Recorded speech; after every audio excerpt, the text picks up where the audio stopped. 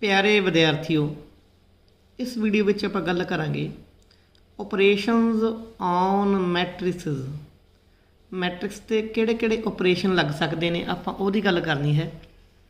ਇਹ ਵੀਡੀਓ ਦੇਖਣ ਤੋਂ ਪਹਿਲਾਂ ਜੋ ਮੈਟ੍ਰਿਕਸ ਦਾ ਪਾਰਟ 1 YouTube ਤੇ ਅਪਲੋਡ ਕੀਤਾ ਹੈ, ਉਹ ਜ਼ਰੂਰ ਦੇਖਣਾ।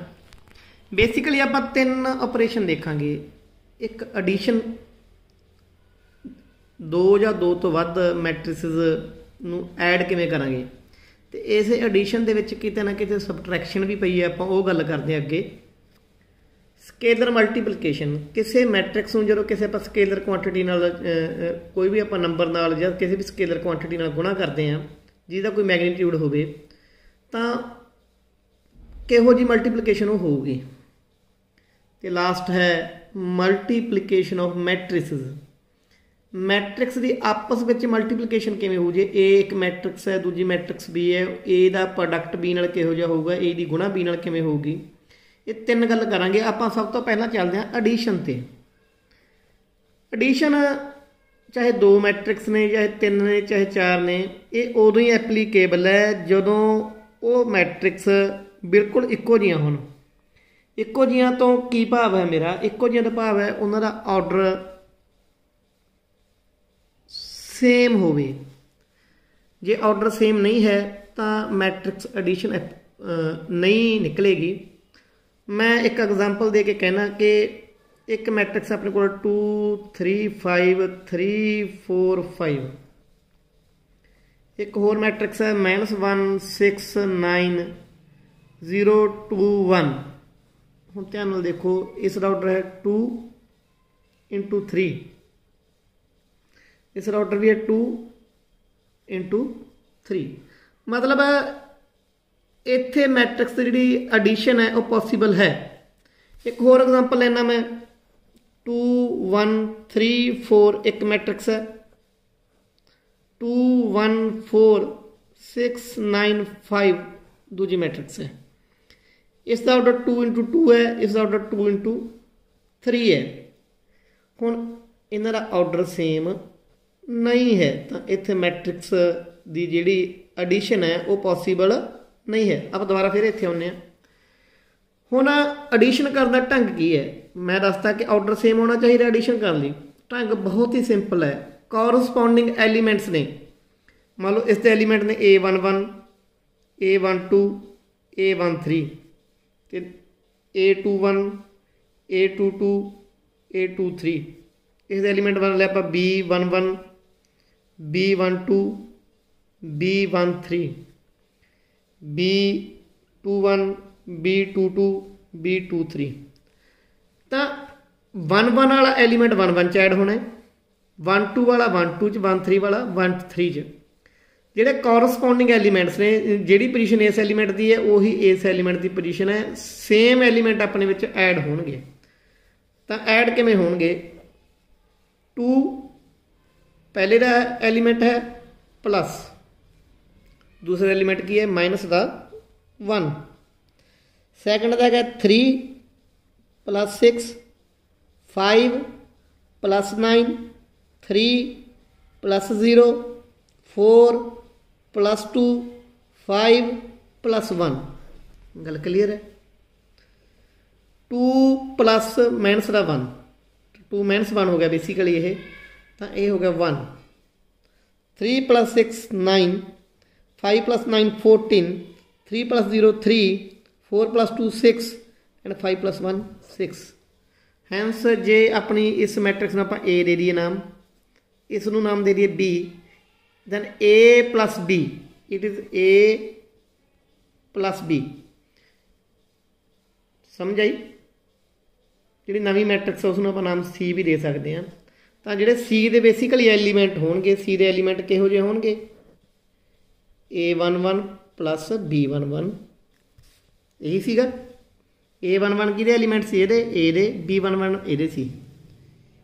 A12 B12 A13 B13 A21 B21 A22 plus B22 A23 b 2 3 ਸਮਝ ਆ ਗਈ? ਬਸ ਕੋਰਸਪੋਂਡਿੰਗ ਐਲੀਮੈਂਟਸ ਆਰਡਰ ਸੇਮ ਹੋਵੇ। ਜਿਹੜੇ ਇੱਕੋ ਜਿਹੇ ਐਲੀਮੈਂਟ ਨੇ ਆਪਾਂ, ਇੱਕੋ ਪੋਜੀਸ਼ਨ ਤੇ ਪਏ ਐਲੀਮੈਂਟ ਨੇ, ਉਹਨਾਂ ਨੂੰ ਕੀ ਕਰ ਦੇਣਾ ਆਪਾਂ? ਐਡ ਕਰ ਦੇਣਾ। ਹੈ ਇੰਨੀ ਕੁ ਗੱਲ ਸੀ। ਕੁਝ ਪ੍ਰਾਪਰਟੀਆਂ ਨੇ ਮੈਟ੍ਰਿਕਸ ਐਡੀਸ਼ਨ ਦੀਆਂ। ਕੁਝ ਪ੍ਰਾਪਰਟੀਆਂ ਨੇ ਮੈਟ੍ਰਿਕਸ ਐਡੀਸ਼ਨ ਦੀਆਂ। ਕਿਹੜੀ ਕਿਹੜੀ ਪ੍ਰਾਪਰਟੀਆਂ ਨੇ? ਉਹ ਪ੍ਰਾਪਰਟੀਆਂ ਨੇ ਪ੍ਰੋਪਰਟੀਜ਼ ਆਫ ਮੈਟ੍ਰਿਕਸ ਐਡੀਸ਼ਨ ਪਹਿਲੀ ਪ੍ਰੋਪਰਟੀ ਕਿ ਕੀ ਜਿਹੜਾ ਮੈਟ੍ਰਿਕਸ ਐਡੀਸ਼ਨ ਕਮਿਊਟੇਟਿਵ ਹੁੰਦਾ ਹੈ। ਕਮਿਊਟੇਟਿਵ ਤੋਂ ਕੀ ਮੀਨ ਹੈ? ਇਨ ਪੰਜਾਬੀ ਚ ਆਪਾਂ ਕਹਿੰਦੇ ਸਥਾਨ ਅੰਤਰਨ। ਜੋ ਸਥਾਨ ਬਦਲੇ ਕਿ ਇੱਕ ਮੈਟ੍ਰਿਕਸ A ਹੈ, ਇੱਕ ਮੈਟ੍ਰਿਕਸ B ਹੈ, ਉਹਨਾਂ ਨੂੰ ਆਪਾਂ ਐਡ ਕਰ ਦਈਏ। ਹੁਣ A ਦਾ ਸਥਾਨ B ਚ ਚੇਂਜ ਕਰ ਲਈਏ, B ਦਾ ਸਥਾਨ A ਨਾਲ ਚੇਂਜ ਕਰ ਦਈਏ, ਪਹਿਲਾਂ B ਰੱਖ ਲਈਏ, ਬਾਅਦ ਚ A ਰੱਖ ਲਈਏ। ਕੀ ਕੋਈ ਫ਼ਰਕ ਪਊਗਾ? ਤੁਸੀਂ ਦੇਖੋਗੇ ਕੋਈ ਫ਼ਰਕ ਨਹੀਂ ਪਊਗਾ। A B ਤੇ B A ਬਿਲਕੁਲ ਇਕੁਅਲ ਹੋਣਗੇ। ਤਾਂ ਇਹਦਾ ਮਤਲਬ ਜਿਹੜਾ ਮੈਟ੍ਰਿਕਸ ਦਾ ਐਡੀਸ਼ਨ ਹੈ, ਉਹ ਕਮਿਊਟੇਟਿਵ ਹੈ। ਐਸੋਸੀਏਟਿਵ ਪ੍ਰਾਪਰਟੀ ਕਹਿੰਦੀ ਹੈ। ਐਸੋਸੀਏਟਿਵ ਪ੍ਰਾਪਰਟੀ ਕਹਿੰਦੀ ਹੈ, ਬੇਟਾ, ਕਿ A ਕੋਈ ਮੈਟ੍ਰਿਕਸ ਹੈ, ਉਹਦੇ ਵਿੱਚ ਆਪਾਂ ਪਹਿਲਾਂ B ਐਡ ਕਰਤੀ। ਬ੍ਰੈਕਟ ਦਾ ਮਤਲਬ ਇਹ ਹੈ ਕਿ ਪਹਿਲਾਂ ਆਪਾਂ ਇਹ ਆਪਰੇਸ਼ਨ ਲਗਾਉਣਾ ਹੈ। ਦੋਨਾਂ ਨੂੰ ਐਡ ਕਰਨ ਤੋਂ ਬਾਅਦ ਜਿਹੜਾ ਰਿਜ਼ਲਟ ਹੈ, ਉਹਦੇ ਵਿੱਚ ਇੱਕ ਹੋਰ ਮੈਟ੍ਰਿਕਸ ਆਪਾਂ ਸੀ ਐਡ ਕਰਤੀ। ਦੂਸਰੇ ਪਾਸੇ ਕੀ ਹੈ ਕਿ ਆਪਾਂ ਪਹਿਲਾਂ B C ਨੂੰ ਐਡ ਕਰ ਲਿਆ, ਕਿਉਂਕਿ ਬ੍ਰੈਕਟ ਦੇ ਵਿੱਚ ਪਏ ਨੇ। ਇਹ ਜਿਹੜਾ ਐਡੀਸ਼ਨ ਆਇਆ, ਉਹਨੂੰ ਕਿਹਦੇ ਵਿੱਚ ਐਡ ਕਰਤਾ ਆਪਾਂ? A ਦੇ ਵਿੱਚ ਕਰਤਾ। ਤੁਸੀਂ ਦੇਖੋਗੇ, ਤਿੰਨ ਕੋਈ ਵੀ ਮੈਟ੍ਰਿਕਸ ਸੇਮ ਆਰਡਰ ਦੀਆਂ ਲੈ ਲਿਓ, ਕਿਉਂਕਿ ਐਡੀਸ਼ਨ ਓਨਲੀ ਪੋਸੀਬਲ ਹੈ ਜਿਹੜਾ ਆਰਡਰ ਸੇਮ ਹੈ। ਤਾਂ ਆਹ ਕੰਮ ਕਰਕੇ ਦੇਖੋ, ਪਹਿਲਾਂ A 'ਚ B ਐਡ ਕਰ ਲਿਓ। ਉਹ ਜਿਹੜਾ ਰਿਜ਼ਲਟ ਹੈ ਉਹਦੇ ਵਿੱਚ ਕੋਈ ਤੀਜੀ ਐਡ ਕਰ ਦਿਓ। ਦੂਜੇ ਵਾਰੀ ਕੀ ਕਰੋ, ਦੂਜੇ ਤੀਜੀ ਐਡ ਕਰ ਲਿਓ। ਉਹ ਰਿਜ਼ਲਟ ਐਡ ਪਹਿਲੀ 'ਚ ਐਡ ਕਰ ਦਿਓ। ਇਹ ਕੀ ਹੈ? ਵਨ ਐਂਡ ਸੇਮ ਥਿੰਗ ਆਊਗਾ।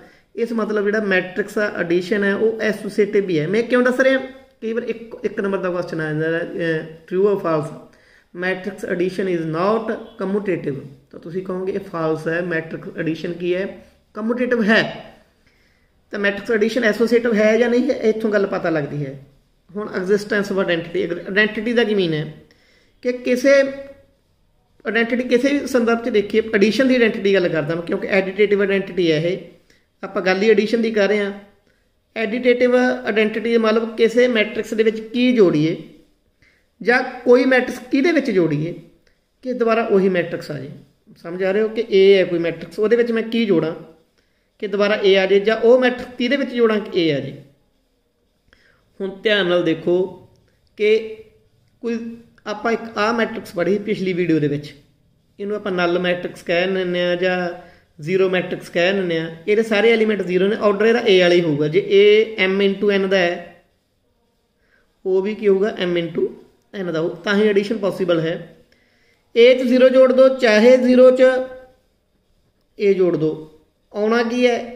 A ਆਉਣਾ। ਜ਼ੀਰੋ ਨਹੀਂ ਮਤਲਬ ਜ਼ੀਰੋ ਮੈਟ੍ਰਿਕਸ। ਤਾਂ ਜਿਹੜੀ ਜ਼ੀਰੋ ਮੈਟ੍ਰਿਕਸ ਹੈ, ਉਹ ਆਇਡੈਂਟੀਟੀ ਮੈਟ੍ਰਿਕਸ ਵਜਦੀ ਹੈ ਐਡੀਸ਼ਨ ਦੀ। ਐਡੀਸ਼ਨ ਦੀ ਆਇਡੈਂਟੀਟੀ ਕੀ ਹੈ? Zero matrix. ਇੰਨੀ ਗੱਲ ਸਮਝ ਆ ਗਈ? ਹੁਣ ਭਾਵਾਂ ਕਿ ਆਪਾਂ ਇੱਕ ਨਾ ਐਗਜ਼ਿਸਟੈਂਸ ਇਨਵਰਸ ਤੋਂ ਪਹਿਲਾਂ ਆਪਾਂ ਨੂੰ ਇਹ ਗੱਲ ਪੜ੍ਹਨੀ ਪਊ ਕਿ ਕਿਸੇ ਮੈਟ੍ਰਿਕਸ ਦਾ ਨੈਗੇਟਿਵ ਕੀ ਹੁੰਦਾ। ਮੰਨ ਲਓ ਇੱਕ ਮੈਟ੍ਰਿਕਸ A ਹੈ। ਇਹਦਾ ਨੈਗੇਟਿਵ ਕੀ ਹੋਊਗਾ? ਆ A ਹੈ, ਮੰਨ ਲਓ 2 3 4 5 ਜਾਂ -5 ਲਾ ਲਓ ਤਾਂ ਮਾਈਨਸ A ਮਾਈਨਸ A ਦਾ ਮਤਲਬ -1 ਇਹਦੇ ਸਾਰੇ ਐਲੀਮੈਂਟ ਨੈਗੇਟਿਵ ਹੋ ਜਾਣਗੇ। 2 ਸੀ -2 ਹੋ ਜਾਊਗਾ। 3 ਸੀ -3 ਹੋ ਜਾਊਗਾ। 4c -4 ਹੋ ਜੂ। ਮਾਈਨਸ ਦਾ 5 ਮਾਈਨਸ ਦਾ ਸੀ, ਇਹ ਕਦਾ ਹੋ ਜਾਊਗਾ ਪਲੱਸ ਦਾ ਹੋ ਜਾਊਗਾ ਇਹ 네ਗੇਟਿਵ ਹੈ। ਹੁਣ ਐਗਜ਼ਿਸਟੈਂਸ ਆਫ ਇਨਵਰਸ ਕੀ ਹੈ ਕਿ ਕਿਸੇ ਮੈਟ੍ਰਿਕਸ ਦੇ ਵਿੱਚ ਆਪਾਂ ਕੀ ਜੋੜੀਏ? ਕਿ ਆਇਡੈਂਟੀਟੀ ਹੈ ਜੀ। ਆਇਡੈਂਟੀਟੀ ਕੀ ਸੀ ਆਪਣੀ? ਜ਼ੀਰੋ ਮੈਟ੍ਰਿਕਸ ਤਾਂ A ਦੇ ਵਿੱਚ ਜੇ ਆਪਾਂ -a ਜੋੜ ਦਾਂਗੇ, ਕਿਸੇ ਮੈਟ੍ਰਿਕਸ ਵਿੱਚ ਉਹਦਾ 네ਗੇਟਿਵ ਹੀ ਜੋੜ ਦਾਂਗੇ। ਜਾਂ ਆਪਾਂ -a ਦੇ ਵਿੱਚ ਆਪਾਂ a ਜੋੜ ਦਈਏ। ਤਾਂ ਕਿਹੜੀ ਮੈਟ੍ਰਿਕਸ ਆ ਜੂ? ਜ਼ੀਰੋ ਮੈਟ੍ਰਿਕਸ ਆ ਜੂਗੀ।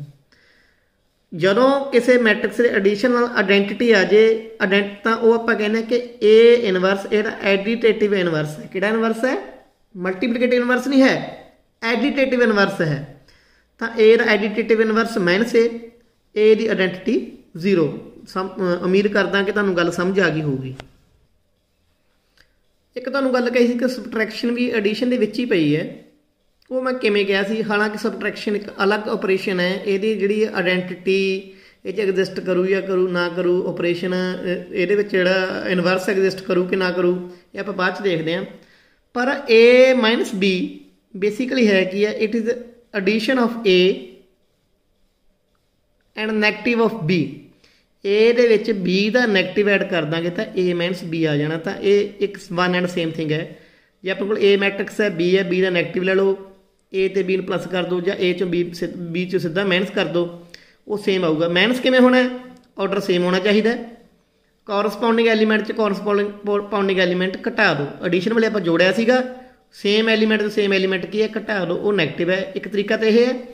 ਦੂਜਾ ਤਰੀਕਾ ਕੀ ਹੈ ਕਿ a ਲੈ ਲਓ, b ਦਾ ਨੈਗੇਟਿਵ ਲੈ ਲਓ। ਦੋਹਾਂ, b ਦੇ b ਦੇ 네ਗੇਟਿਵ ਜਿਹੜੀ ਨਵੀਂ ਮੈਟ੍ਰਿਕਸ ਬਣ ਗਈ, ਉਹਨੂੰ a ਦੇ ਵਿੱਚ ਜੋੜ ਦਿਓ ਤਾਂ a b ਦੇ ਬਰਾਬਰ ਹੀ ਆਊਗਾ। ਇੱਕ ਐਗਜ਼ਾਮਪਲ ਲੈ ਕੇ ਚੱਲਦੇ ਹਾਂ। ਇਫ a ਇੱਕ ਮੈਟ੍ਰਿਕਸ ਹੈ, b ਇੱਕ ਮੈਟ੍ਰਿਕਸ ਹੈ find the matrix c such that a b c is a zero matrix. ਇੱਕ ਗੱਲ ਸਮਝ ਲਓ, a b c ਤਾਂ ਹੀ ਹੋਊਗਾ ਜੇ c ਦਾ ਆਰਡਰ ਵੀ a ਤੇ b ਦਾ ਹੋਊ। A ਤੇ b ਦਾ ਆਰਡਰ ਦਾ ਸੇਮ ਹੈ। 3 2 ਹੈ। 3 2 ਤੇ c ਵੀ ਇਹੋ ਜਿਹੀ ਮੈਟ੍ਰਿਕਸ ਆਪਾਂ ਪਹਿਲਾਂ c ਮੈਟ੍ਰਿਕਸ ਦੇਖ ਲਿਆ, ਆਪਾਂ ਕਿਹੋ ਜਿਹੀ ਬਣਾ ਸਕਦੇ ਆ ਆਪਾਂ c ਇੱਕ ਮੈਟ੍ਰਿਕਸ ਬਣਾ ਲਈ। C11 c12 c21 c22 c31 c32 ਦਿੱਤਾ ਕੀ ਆਪਾਂ ਨੂੰ ਦਿੱਤਾ ਇਹ ਹੈ ਕਿ a b c ਇੱਕ ਜ਼ੀਰੋ ਮੈਟ੍ਰਿਕਸ ਹੈ a plus b plus c is a zero matrix a ਕੀ ਹੈ ਇਹ ਹੈਗਾ 2 minus 3 4 2 1 0 b ਕੀ ਹੈ 6 1 0 2 3 4 ਸੀ ਕੀ ਹੈ? C11 c21 c31 c12 C22 C32 ਇਹਨਾਂ ਤਿੰਨਾਂ ਦਾ ਮੈਟ ਜ਼ੀਰੋ ਮੈਟ੍ਰਿਕਸ ਵੀ ਸੇਮ ਆਰਡਰ ਦੀ ਹੋਊਗੀ, ਜਿਹੜਾ ਇਹ ਇਹਦੇ ਇਕੁਅਲ ਹੋਊਗਾ। ਇਕੁਐਲਿਟੀ ਆਫ ਮੈਟ੍ਰਿਕਸ ਆਪਾਂ ਲਾਸਟ ਉਹਦੇ ਵਿੱਚ ਪੜ੍ਹੀ ਹੈ। ਹੁਣ ਕਰਨਾ ਕਿ ਆਪਾਂ ਤਿੰਨੇ ਜੋੜ ਦੇਣੇ ਆ। ਪਹਿਲੇ ਤਾਂ 2 ਦੂਜੇ 6 ਤੀਜੇ C11 2 2 C12 3 1 C21 3 sorry 1 plus 3 plus c 2 2 4 plus 0 plus c 3 1 and 0 plus 4 plus c 3 2 ਮੈਨੂੰ ਲੱਗਦਾ ਸਮਝ ਆ ਗਿਆ ਹੋਊਗਾ ਪਹਿਲਾਂ 2 plus 6 plus ਇਦਾਂ ਲਏ ਨੇ ਆਪਾਂ। ਇਹ ਕਿਸ ਦੇ ਇਕੁਅਲ ਹੈ? 0 0 0 0 0 0 ਹੁਣ ਇਹ ਕੀ ਆ ਜਾਣਾ ਆਪਣੇ ਕੋਲ? ਇਹ ਆ ਜਾਣਾ ਹੈ ਪੇਜ ਦੀ ਥੋੜੀ ਬਚਤ ਕਰਨੀ ਪੈਂਦੀ ਹੈ ਵੀਡੀਓ ਬਣਾਉਣ ਲੱਗਿਆ ਇਹ ਦਿੱਕਤ ਆਉਂਦੀਆਂ ਨੇ। 2 6 8 C11 ਮਾਈਨਸ 3 1 ਹੋ ਗਿਆ ਮਾਈਨਸ ਦਾ 2 C21 4 0 4 ਹੀ ਹੋ ਗਿਆ C31 2 2 4 C12 1 3 4 C22 0 4 4 ਹੀ ਹੋ ਗਿਆ C32 ਇਹ ਕਿਸੇ ਦੀ ਅਗਰ 0 0 0 ਹੁਣ ਇਹ ਵੀ 0 ਦੇ ਇਕੁਅਲ ਆ ਜੂ ਇਹ ਵੀ 0 ਦੇ ਇਕੁਅਲ ਆ ਜੂ ਹੁਣ ਕੱਲਾ ਕੱਲਾ ਐਲੀਮੈਂਟ ਨਹੀਂ ਮੈਂ ਇੱਕੋ ਐਲੀਮੈਂਟ ਕਰਕੇ ਦਿਖਾਣਾ ਕਿ 8 C11 ਜਦੋਂ 0 ਦੇ ਇਕੁਅਲ ਆ ਗਿਆ, ਤਾਂ C11 ਦੀ ਵੈਲਿਊ ਕੀ ਆ ਜੂਗੀ 8 ਆਪਾਂ ਇੱਥੇ ਇਸ ਮੈਟ੍ਰਿਕਸ ਵਿੱਚ ਪੁੱਟ ਕਰਦੇ ਹਾਂ ਮਾਈਨਸ 8 C, ਹੁਣ ਆਪਾਂ C ਪਤਾ ਕਰਦੇ ਹਾਂ ਬੇਸਿਕਲੀ ਆ ਪਤਾ ਕਰਨਾ ਆਪਾਂ। ਇਹਨੂੰ ਕੰਪੇਅਰ ਕਰਾਂਗੇ C12 ਨੂੰ ਮਾਈਨਸ 4 ਆ ਜੂ। ਆ ਐਲੀਮੈਂਟ ਮਾਈਨਸ 4 ਆ ਗਿਆ। ਇਹਨੂੰ ਪਲੇਟ ਇਹਨੂੰ ਕਰਾਂਗੇ ਤਾਂ 2 ਆ ਜੂ ਪਲੱਸ ਦਾ। ਇੱਥੇ 2 ਆ ਜੂ। ਮਤਲਬ ਐਦਾਂ ਆਪਾਂ ਇੱਕ ਮੈਟ੍ਰਿਕਸ ਬਣ ਜੂ ਆਪਣੀ C C ਮੈਟ੍ਰਿਕਸ ਕੀ ਬਣ ਜੂਗੀ? -8 ਇਹ ਤੁਸੀਂ ਆਪ ਕਰਕੇ ਦੇਖਣਾ 2 4 4 4 4 ਕਿਉਂਕਿ ਆ 4 4 4 4 ਸੀ 4 C 4 C, ਇਧਰ ਆ ਕੇ ਕੀ ਹੋ ਜਾਣਾ ਇਹ ਮਾਈਨਸ ਤਾਂ ਸੀ ਦੀ ਕੀ ਆ ਗਈ? ਤੁਹਾਡੀ ਵੈਲਿਊ ਆ ਗਈ। ਇਹ ਆਪਾਂ ਅੱਗੇ ਗੱਲ ਕਰੀਏ ਸਬਟਰੈਕਸ਼ਨ ਦੀ ਸਬਟਰੈਕਸ਼ਨ ਤੁਹਾਨੂੰ ਦੱਸਿਆ ਸੀਗਾ ਕਿ ਬਸ ਆਰਡਰ ਸੇਮ ਹੋਣਾ ਚਾਹੀਦਾ ਹੈ। ਸੇਮ ਐਲੀਮੈਂਟ ਤੋਂ ਸੇਮ ਐਲੀਮੈਂਟ ਘਟਾ ਦਾਂਗੇ ਆਪਾਂ ਬਟ ਸਬਟਰੈਕਸ਼ਨ ਦੇ ਵਿੱਚ ਆਇਡੈਂਟੀਟੀ ਐਗਜ਼ਿਸਟ ਕਰੂ ਕਿ ਨਹੀਂ ਕਰੂਗੀ? ਆਇਡੈਂਟੀਟੀ ਮਤਲਬ A ਦੇ ਵਿੱਚ ਕੀ ਘਟਾਈ ਜਾਂ A ਕਿਹਦੇ ਵਿੱਚ ਘਟਾਈ? ਮਤਲਬ A ਦੇ ਵਿੱਚ ਆਪਾਂ 0 ਘਟਾਤਾ।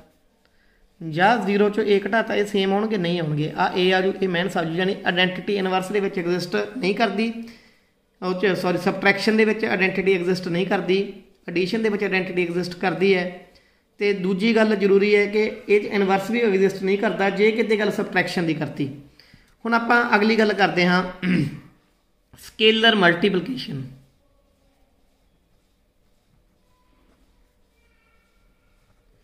ਸਕੇਲਰ ਮਲਟੀਪਲੀਕੇਸ਼ਨ ਕੀ ਹੈ?